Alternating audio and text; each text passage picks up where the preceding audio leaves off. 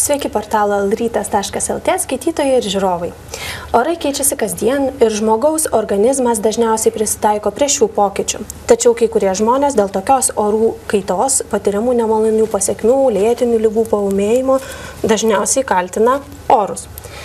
Tai dažnas linkęs turbūt galvoti, kad dėl skaudančių sanarių kalti tie orai. Tai kaip orai iš tikrųjų paveikia sveikatą, šiandien pasikalbėsime su klimatologe Audronė Galvonaitė. Sveiki. Labai diena. Deja, žiūrovus raginu užduoti klausimus e, tiesiog į mūsų Facebook paskyroje. Tai kaipgi yra iš tiesų? Ar orai yra kalti dėl tų mūsų sveikatos problemų? Na, aš čia atėjau apginti orų. Nes visą laiką juos puola, visą laiką jie negeri. Tai šiuo atveju aš pabandysiu juos apginti ir turiu pasakyti iš karto, kad orai nesusargdina. Orai yra geras indikatorius mūsų fizinės ir psichinės būsenos.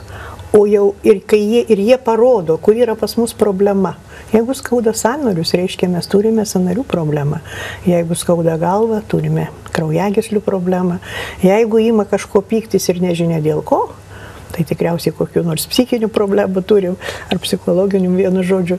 Tai orai tik tai parodo, jie daugiau diagnozuoja, kad jūs turite labai rimtą problemą ir į tai tikrai reikėtų atkreipti dėmesį. O čia jau jūsų reikalas yra. Ar jūs kreipsite dėmesį, kad jums paumėja ten kas nors atsiranda ar ne. Orai čia nieko dėti. Na, nebent tik tai yra tokie kaip meteorologiniai reiškiniai, kurie gali sukelti kažkokius tai, kažkokias problemas. Tai yra, pavyzdžiui, perkūnija gali nutrenkti, uraganas ar ten koks nors viesulas gali tave sužeisti. Na ir jeigu mes netinkamai apsirengsim, tai galim vienu atveju perkaisti, kitu atveju peršalti. Tai čia jau irgi mūsų problemos, bet o, nuo, nuo tam tikrų orų sąlygų kai kas gali na, būti, kaip sakiau, sužeisti, vėjas gali nunešti kur nors. Na, o kaip tada e, paaiškinti vadinamasias pavasarinės, rudeninės depresijas? O čia labai, labai vat, geras klausimas. Dabar, kadangi artėja pavasaris, tai, tai iš tikrųjų yra tokios dvi depresijos. Beje, pirmas iki apie, apie šitą susimaščiau ir išgirdau, būdama Vengrijoje simpozime, kur buvo vokiečių gydytojai kartu su, su klimatologais, bandė spręsti kai kurias problemas klimato šiltėjimo. Ir va ten aš išgirdau apie tas dvi rūšis. Tai viena yra tokia labai pasyvi, tokia depresija rudeninė, kada priklauso nuo dienos ilgumo, nuo, nuo šviesos nebuvimo tokio visą laiką, kaip sako, ryte atsikeli ir jau tamsu ir atsiguli ir vėl tamsu. Ir žmogus, na, jaučiasi kaip ta rudeninė mūsė, nieko nesinori daryti, išliaužiuje tokie, savęs gailisi labai, visi nepatinka patenkinti. Tokiais atvejais iš tikrųjų reikia eiti pasivaikščioti. Pasivaikščioti arba užsidegti šviesas, kad pajustumėt šviesą. Pavasarinė depresija yra veiklos depresija. Ši depresija yra gana pavojinga.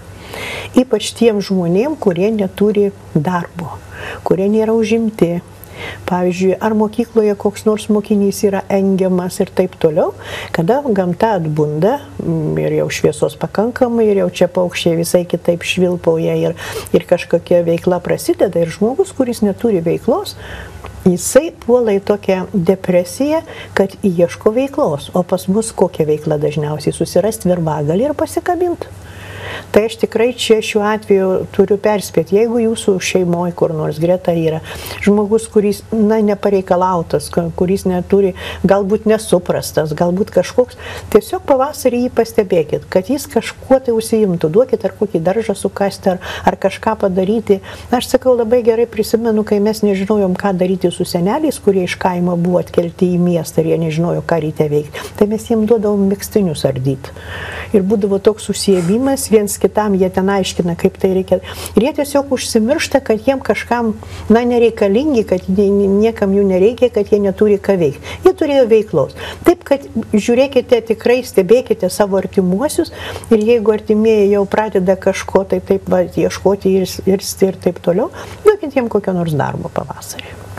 E, vienas mūsų skaitytojų skundžiasi, kad pavasariui atėjus e, skauda galva ir e, vandenį geria, šiandien pasivaikščioti, kaip daktarė liepė, o kaip nepadeda, taip nepadeda. Ar galėtų čia slėgio kažkokie pokyčiai turėti? Taip, pavasaris ir ruduo yra na, toks laikotarpis pereinamasis, kada gana e, dažnai keičiasi orai, kada, kada gan staigiai ir slėgio pokyčiai būna, tai vienas frontas eina, tai kitas, nes persitvarko ir bendroji atmosferos cirkuliacija persitvarko jau į šiltąjį laikotarpį ir tokiais atvejais tikrai būna daug, daug tokių ir vėjų daugiau, ir, ir, ir, ir e, orų kaitos. Na ir dar reikia perspėti, kad ne visi žmonės vienodai jaučia. Pavyzdžiui, yra žmonės meteostabilus ir meteolabilus. Tai, Paaiškinkit. O meteostabilus tai yra dažniausiai žmonės sveiki, jauni, e, vaikai kažkur jau virš dešimties metų ir, ir, ir, ir, ir taip jau iki kokių 50 metų, tai, tai tikrai va, tas vadinamas jaunimas. Nors dabar aš sakyčiau, rasti sunku jau ir tą sveiką jaunimą. Tai jie nejaučia tų orų pokyčių ir jiem vienodai rodo, kas ten, nebent tik tai, kaip sakau, gali sužeisti koks nors viesulas ar ten perkūnė. O meteolabilus, jeigu jis turi kokių nors sveikatos problemų, tai kiekvienas orų pokytis jis yra jaučiamas. Jeigu slėgis staigiai keičiasi, tai mūsų kraujagyslės tai susitraukia, tai išsiplečia. Jeigu ten, pavyzdžiui, vėjas yra žmogus širdininkas, tai jam ir kvepuoti sunku, arba astmininkas, jeigu jam neša kažką tai tokio į burną. Ir, ir temperatūros kaita, ta, dabar, tarp kitko, dabar vat, su klimato kaita labai dažnai pasitaikanti, kada vieną dieną būna labai aukšta temperatūra, o paskui krenta vos ne per 20 laipsnių, tai vėlgi yra turi įtakos mūsų visam organizmui. Na, šiuo atveju, kai, kai žmogus klausia, tai jam tikrai reikia pasivaikščioti ir, ir negalvoti, kad jam taip jisai užsimirš turėtų. Reikėtų tikrai kažkokios vat, veiklos, galbūt jau ir tas, tas, tas prasideda pavasarylis toksai nerimas kažkoks. Tai, tai žodžiu, vaikščioti tai tikrai yra labai gerai, labai sveika ir, ir, ir ypač tie, kurie negali, pavyzdžiui, mankštintis ar ką, tai, tai, tai tas vaikščiojimas, ne, netgi nebegiojimas, o ėjimas normalių žingsnių yra labai labai gerai.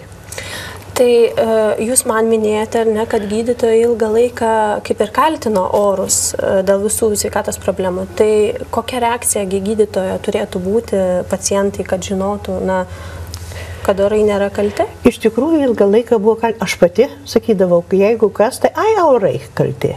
O paskui, bet, kai jau susidomėjau ir kai pradėjau aiškintis, tikrai supratau, kad orai nieko.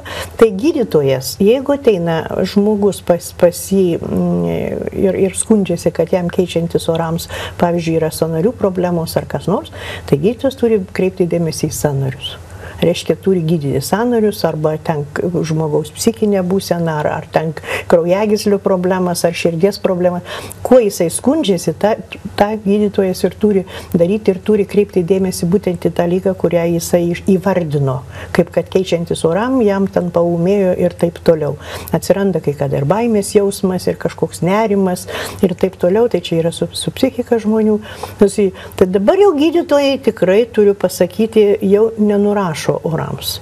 Dažniausiai jau jie supranta, nes, nes tikrai labai jau daug ir minėjome ir, ir jau yra ir nauji darbai padaryti tą, tą linkmę. Labai daug dirbam vokiečiai, graikai labai daug dirba šitoje srityje. Jie iš tikrųjų tyrė, kaip kas ten vyksta. Beje, ar jūs žinote, kada dažniausiai kviečiamos greitosios dėl, dėl pavyzdžiui, paumėjimo tokio vat, nerimo arba infarkto, insulto rizikos? Aš sakyčiau, gal rudenio. Kiekvieną penktadienį vakare, kiekvieną sekmadienį vakare, kiekvieną paskutinę e, darbo dieną prieš atostogas ir, pirmą, ir paskutinę dieną atostogų. Ir kaip tai paaiškinti? O tai yra paaiškinti taip, jeigu žmogus labai mėgsta savo darbą ir jis visą savaitę dirba, dirba, dirba, dirba, penktadienį vakariais pasijunta blogai. O ką jis dabar dvi dienas darys? Juk mūsų žmonės dabar nebe, nebesuvokia, ką reikia daryti, jeigu tu ten nesėdi prie kompiuterio apsikabinės ar ką nors. Lygiai taip pat tie, kurie nenori, kurie turi nemėgstamą darbą, sekmadienį vakare juos jau pradeda imti nervai. Ryti reikės keltis, reiks eiti į darbą. Lygiai tas pats po atostogų, prieš atostogas. Yra tas pats vat, toksai vat, nerimas, nervai įima, kodėl čia vat, reikės dabar daryti kažką. Taip, tai kaip sakant, tik įrodymas, kad visos lygos nuo nervų. taip, nuo nervų. Ir, ir beje, čia yra statistika, čia vokiečių yra statistika tokia gydytojų, kad būtent va, tokiamis dienomis yra dažniausiai kviečiamos greitosios dėl va, tokių paumėjusių dalykų. E, dar mūsų klausia apie vitaminą D. Na, Lietuva iš tikrųjų tos saulės nėra daug. Tai ir e, nemažai žmonių skundžiasi tą vitamino D stoką, kaip žinome, kad ir suprastėja tada ir nuotaika, ir svorių e, lengviau, tai yra sudėtingiau gali būti numesti. Tai kaip čia yra? Ar galim kažkaip tai mes pasikoreguoti, gal daugiau pabūti saulėje? Taip, pabūti saulėje, bet netiesioginiai Ypač vasarą, kada dabar atsirado dar viena problema. Tai yra vadinamos karščio bangos. Kada Lietuvoje vidutinių platumų juostoje temperatūra laikosi virš 30. Ir kada naktimis būna netgi tos vadinamos tropinės naktis, kada žmogus nepailsi, nes temperatūra nenukrenta žemiau 20. Tai va tomis dienomis, aišku, saulės kažkiek tai tikrai reikia ir pasideginti, ir įgauti to vitamino D pagaudyti, bet aš visą laiką jau, jau čia taip manau net posakyti, negulėti kryžium pleže tikrai, na dabar atsirado dar vienas geras dalykas, kad jau į pležą pradėjo vandenį nešti žmonėms siūlyti. Nes aš, kadangi buvau vis ilgą laiką ekspedicinis žmogus ir aš būdavau ir pležuose ir visur, aš matydavau, mane imdavo siaubas, kai ryte atėjęs žmogus atsigulė ir ne, nejudėdamas išguli iki pat, kol jau saulė pradeda leistis ir jau visi ten namo įsivaikšto. Čia stengiasi visą vitaminą taip, D pasisakyti. Taip, visą vitaminą D ir sukelia tikrai daug daugiau problemų savo, nes atsiranda ir odos pažeidimai, ir, ir, ir lygos, ir, ir galimas netgi odos vėžys, ir akis yra pažeidžiamos, nes dažniausiai, tai žiūrėk, ne visada mes imdavom tuos tamsius sakinius, arba nusiperkam tokius, kurie gražus, bet jie nieko nedaro. Ir vandens tu pat negerdavom, o kai ir temperatūra virš 30 mes prakaituojame ir, ir, ir išgarinam labai daug vandens, atsiranda kita problema, organizmas pradeda apsinuodyti, nes trūksta vandens, reikia atsigerti ir, ir, ir, ir panašiai. Tai vienu žodžiu, labai sveika Saulėje pabūti, bet ne ištisai gulėti toje Saulėje. Ir dar vienas dalykas, noriu perspėti tikrai tuos, kurie mėgsta šaltą e, žiemą pas mus, vat, kai, kai būna lėkti į šiltus kraštus.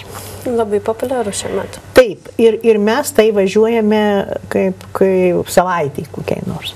Tai atsiminkite, kad mes vidutinių platumų juostą ir tam, kad mes priprastume prie tropinių platumų, mums reikia mažiausiai mėnesio, kad mes pradėtume aklimatizuotis, ne, ne susitaisyti, bet tik pradėti. Tai mes sėdami į lėktuvą, pasimam vaikus, o vaikai maži, beje, dar dažnai būna neįgyję tokios rimtos imuninės sistemos, tam kažkur sakiau nuo 10 metų, jie jau yra daugiau stabilesni, jie sėda į lėktuvą, vienas dalykas stresas dažnai būna ir vaikam, ir, ir, ir, ir suaugusiam lėktuvas, toliau laiko skirtumas, maisto skirtumas. Ir iš minus minus 20 į plus 40, 60 laipsnių skirtumas, o prie tokios skirtumo temperatūros formuojasi uraganai vandenynuose. Tai dabar įsivaizduokit, kas darosi su mūsų organizmu. Mūsų organizme siaučia tokios audros ir taip negražiai organizmas apie mus kalba, nes mes nuvažiavom savaitę, mes tuoj pat į pležą, savaitę atgulim jau ten, vargdami, toliau vėl jau, reiškia, prasideda jau to organizmo braškėjimas ir taip toliau, kada jis pradeda po truputėlį supratęs, kad su mumis nesusitvarkys prisitaikyti, mes vėl sėdame į lėktuvą ir vėl 60 laipsnių skirtumas ir stresai ir kur paskui einam. Vaikai serga, tėveliai irgi. Ir grįžę po tokių atostogų dažniausiai sako, na va, ilsėjausi savaitę ir visai nepalsėjau. Didžiulis smūgis imunitetui kitaip. Būtent organizmas yra taip išbalansuojamas, kad jūs net, net nepailsite, o jūs pavargstate. Ir tai yra tikrai nesveika. Ir kitas dalykas, ir, ir ta saulė yra kita kaitresnė, ir, ir danguje va, be debesų dažniausiai būna ir mes tame pleže gulime. Tikrai galime susigriebti labai rimtų problemų. Ir ypač tos staudusios lygos kai kada išlenda. E, tai pavasarį kogi turėtume labiausiai dabar saugotis? E, temperatūrų skirtumų, alergijų? Nieko nereikia saugotis, reikia tiesiog protingai gyventi. Reikia protingai gyventi, reikia atitinkamai e, renktis, klausyti prognozės, jas iš, išklausyti, girdėti jas. Nes mes visi klausom, bet niekas negirdim. Ir aš e, pati žinau, kad susidurdavau su tokiais, sako, niekas nesakė. Visą dieną kartoja kokį nors perspėjimą, žmogus negirdėjo jo. Jis tiesiog praleidžia prausis. Tai vad reikėtų, kad neperkaistotumėt, jau pasirinkti drabužius tokius pasirinkti, kad būtų ne per karšta, bet dar nepamiršti, kad dar tebėra išalas ir taip toliau, kad ryte, kai einate į darbą, dar yra vėsų, reikėtų atitinkamai, kad galėtumėt kažkaip tai pakeisti pasikeisti. Dar visada sakau, niekada e, iš lauko atėję, ypač žiemos metu, nebūkite su tą pačią avalinę darbe. Reikia būtinai persiauti. Nes jūsų kojos sudrėksta, jūs ateinat vėl toliau tos kojos, o paskui išeinat ir šalot nes reikia būtinai persiauti. Ir atitinkamai tikrai elgtis ir vasarą, ir žiemą, ir pasivaikščioti ir žiemą, apsirengus, neskubant, mėgaujantis, nevaikščioti palei gatvę, Beje, šiuo atveju vėjas turi ir gerą savybę, nes jis dažnai nupučia tas visas sunkėsis dalelės ir, ir tas visą taršą, bet tuo pačiu gali ir kai ką ir, ir perpūsti. Ir dar vienas dalykas, e, čia va ir šitoje knygoje, kur, mes, e, kur turiu pasidėjus, yra toks dalykas, mes jaučiame ne tą temperatūrą, kurią rodo mūsų termometras. Mes dažnai sušalame todėl, kad mes nesuprantame, kad mes gyvename sąlygomis, kur yra vėjuota. Ir jeigu, pavyzdžiui, žiemą temperatūra yra minus 5, mes galvojame, o visai šilta, čia aš galiu lengviau apsirengti ir toliau neišklausom, kad sako ir 10 metrų per sekundę vėjas arba dar stipresnis ir gusingas vėjas ir taip toliau. Ir mes išėję, palaukę stotelėje šiek tiek, mes taip sužvarpstame, nes mes jaučiame temperatūrą, kurią nupučia nuo odos vėjas. Ir ta temperatūra maždaug 10 laipsnių žemesnė mes jaučiame kažkur tai apie minus 15, minus 10, minus 20, būnant prie 5. Ir 7. būname tam nepasiruošę. Taip, būnam tam nepasiruošę. Lygiai taip pat yra vasara. Vasarą, kada mes girdime, kad termometro stulpelis rodo tenai 20-30 ar, ar kažkiek tai, nepamirškime dar išklausyti, kokias, koks bus santykinis drėgnumas ir vėlgi ar bus vėjas ar nebus vėjas. Nes prie santykinio drėgnumo mes negalime atiduoti tos šilumos, kaip, kaip šuo tai liežuvį iškišo, o mes tai negalime, tai mes per savo poras garinam, kad, kad neperkaistume. O kai būna dar drėgna, mes jaučiame temperatūrą daug aukštesnę. Todėl atvažiavę, pavyzdžiui, iš tropinių kraštų žmonės sako, pas jūs neįmanoma nėra kuo kvėpuoti, čia taip pas jūs karšta, nes pas mus yra drėgna. Tai mes, jeigu turim 30, tai mes jaučiamės kaip prie 40. Ir kaip žiemą sakiau atvirkščiai, tai va irgi atvažiavę iš Sibirinių kažkur iš Sibiro, kur šalčiai kaip reikalas, jie sako, pas jūs neįmanomai šalta. Taip, todėl kad pas mus yra vėjas, o pas juos yra tika. Na, mūsų uh, žiūrovė Urte vis tik klausia, tai kaip tada suprasti, kad tie sanarių skausmai kyla keičiantis orams? Ar yra kažkoks paaiškinimas? Paaištrėja Tiesiog kada, kada temperatūra keičiasi, keičiasi orai ir ar, ar šala. Ypač dar būna problemos, sanariai labai dažnai skauda, jeigu buvo kažkokios traumos dar, jos pradeda mausti. Dėl pakitusios drėgmės, dėl slėgio pokyčių, dėl visko, visa tai įtakoja, parodo jums, tiesiog suaktyvina tą veiklą, bet nesusardina, dar kartą sakau, nekaltinkite orų, jūs turite tokiais atvejais arba vaistus išgerti, arba atitinkamai apsirengti, arba pasitepti ten kažkuo, kažkuo tai, kad jūs sustabdytumėte tą procesą, kad, na, nebūtų to tiesioginio poveikio e, orų, reiškia, būtent jūsų sanariams. Na, o kaip uh, turite, ar ne, prie savęs knygutę Lietuvos kurortų klimatas, kurią rengiate, e, tai Kaipgi tom atostogam pasiruošti e, pavasaris tik prasidėjo, bet jau tikrai yra žmonių, kurie planuoja atostogas ir e, turbūt irgi reikia ruoštis atsižvelgiant į orus. O aš visą laiką sakiau, blogų orų nebūna mėlyjeji, būna mūsų nuotaika netikusi, o jinai būna iš ryto jau netikusi. Aš vat, dar, kai, kai skaitau, kai kada trečio amžiaus universiteto paskaitas, tai visuomet sakiau, rytą pradėkite nuo vienos mankštos, šypsenos mankšta. Ir tai yra ne humoras, tai yra iš tikrųjų, kada jūs nusišypsote ryte, jums perduodama jau žinia, aš laimingas. Ir jūs keliatės laimingas. Ir tada iš tikrųjų, kokie bebūtų orai, jums bus geri. O atostogos vėlgi visais metų laikais yra gerai. Tik kaip dar kartą sakiau, reikia atitinkamai tam nusiteikti. Visai nebūtina gulėti visą laiką pleže ir keikti orus, kad, kad man čia nepavyko, nes lyjo lietus. Per lietų pasivaikščiot galima pilnai, kvepuoti, išvalyti plaučius ir taip toliau, kvepuoti pilną burną tada vaikštant ir, ir kvepuoti vis, vis, viskas, kas yra, nes po, po lietaus labai gerai išsiplauna visa tarša, jūs kvepuojate švariu oru. Žodžiu, visais metų laikais atostogos yra gerai. Na, dar viena tema turbūt, e, kurią e, būtina pasikalbėti, tai yra grūdinimasis. E, pamenu, kad esate man pasakojus apie tai, kad na, vis tik vaikai yra auginami ne visai tokiam sąlygom, kokiam turėtų. Kaip mes augom, tai sakau, pareidavom kelių, negalėdavom nuo žemės atkelti, nes būdavom šlapi, purviniai, išsivolioję. Ir kokia buvo bausmė vaikam didžiausia - neišleisti į lauką. Nes jeigu jau nusikaltęs, tai žiūrėk, neįsi į lauką ir, ir jau ne, nepareisi toks gražus. O dabar kokia didžiausia bausmė? Nuvaryti vaiką nuo kompiuterio. Mūsų vaikai dabar praktiškai sėdi nuo ryto iki vakaro. Jūs pasižiūrėkite, kiek dabar su akiniais jau iškrypusiais stuburais ir taip toliau ir panašiai. Vaikai beveik nebežaidžia laukia, o jeigu žaidžia, tai, tai būna tokia priežiūra, kad mes auginam vaikus dabar šiltnamio sąlygom.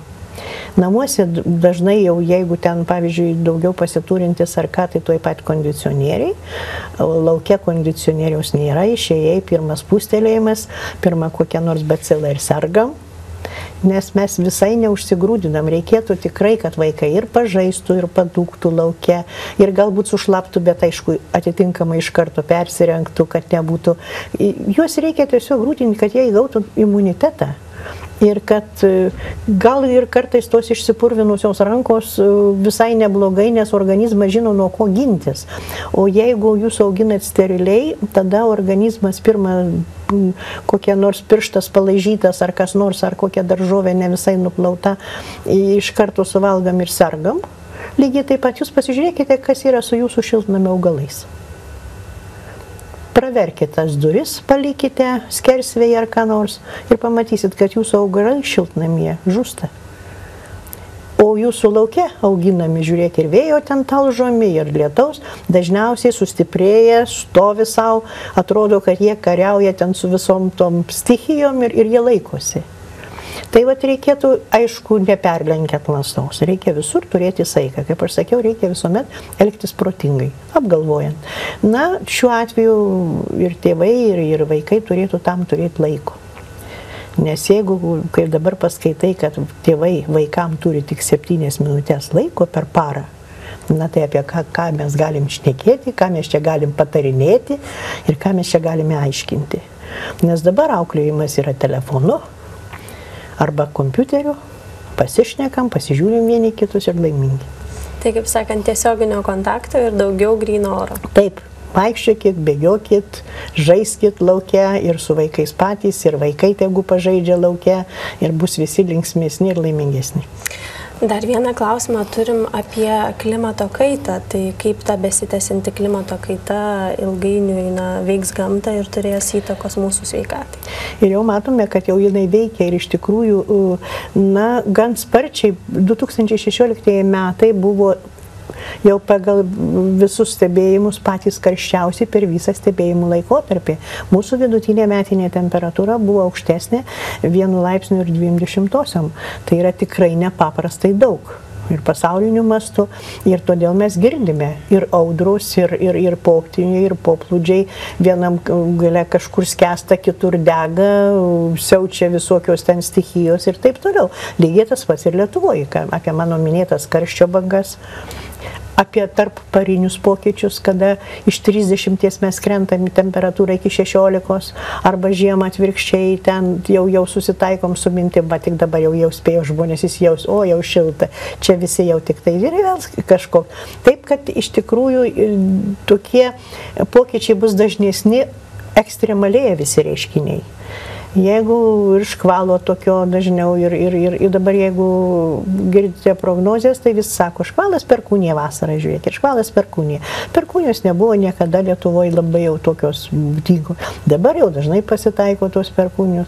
Antras dalykas, žmonės sustojo elgtis. Jie dabar visi laukia, kad pasakys e, žiniasklaida, parašys laikraštis, dar jeigu spėsiu ten pasiskaityti, kurioje vietoje parašyta, kurioje ten kolonėliai, tai bus viskas gerai, man pasakys, kur aš mašiną turiu pasistatyti, kaip aš turiu apsirengti, ką aš turiu padaryti.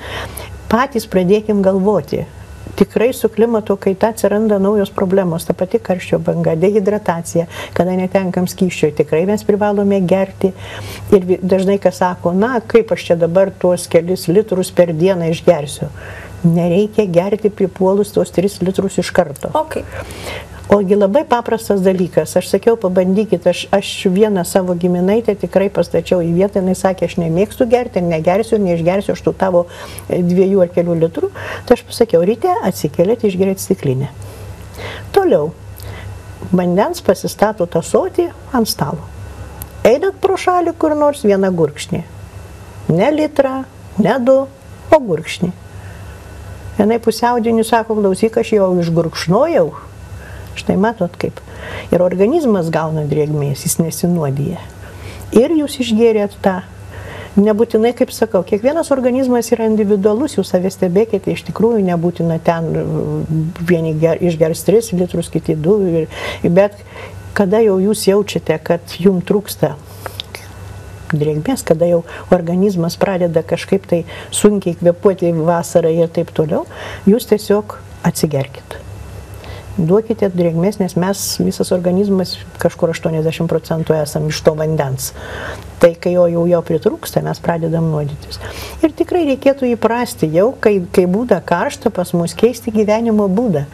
Nes e, jūs prisiminkite, kad tose šalyse, kur 30 laipsnių laikosi temperatūra, dienos metu gatvėse ar kur nors žmonių beveik nepamatysi, nebent mes ten nuvažiavę šliaužiojam. O pas mus šventas reikalas per karštį, per vidurdienį, kada saulė danguje tenai be debesėlių ir taip toliau, visos mūsų močiutės daržuose susilenkusios ravė. Ir jau, jau pats dalykas, kad susilenkusios, jau, jau tai, kad galva atstatyta į saulę, mes naudojamės kiekvieną, aiš, aišku, mums trūksta tos saulės, bet, kaip sakiau, neperlenkim lasdos. Jie ypač dar pagyvenę žmonės, kurie tikrai turi laiko ryte ir vakare visą tai padaryti, ką daro vidurdienį. Tai geriau vidurdienį palsėkite, kad kažkokiam pavėsėje pagulėkite arba namuose, paskaitykite ką nors. Tai turėsite irgi dvigubą malonumą. Na ką, e, labai dėkojame gerbiamai Audroniai, kad atvyko pas mus ir priminė tam tikrus dalykus, galbūt kitus dalykus pakartojo ir pasakė kažkam naujieną kažkokią. Tai labai daug skaitytojų beje apgailestauja, kad nebetenka jūsų eteryje matyti. Tai, e, Aš nemiriau, bet reikia ir man polisio. tai dėkoju, dėkoju geros dienos visiems. Geriausia. Būkit sveiki.